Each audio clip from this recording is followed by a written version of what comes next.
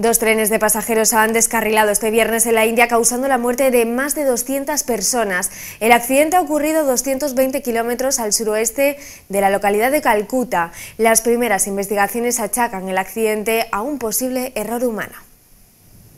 Ascienden a 233 los fallecidos por un accidente de tren en India y a más de 900 los heridos por el accidente de tren ocurrido en el este del país.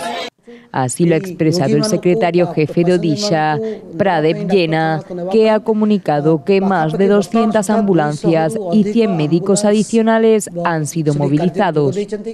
Por el momento, Narendra Modi, primer ministro de la India, ha convocado una reunión para revisar la situación en relación con este accidente. El expreso de Coromandel que cubría el trayecto de Calcuta a Chennai se ha estrellado contra los vagones descarrilados de otro ferrocarril que se dirigía desde Bengaluru a Calcuta y hasta ahora las investigaciones apuntan a un error humano, aunque por el momento las autoridades señalan que el cómo y el por qué se detallará tras una investigación exhaustiva.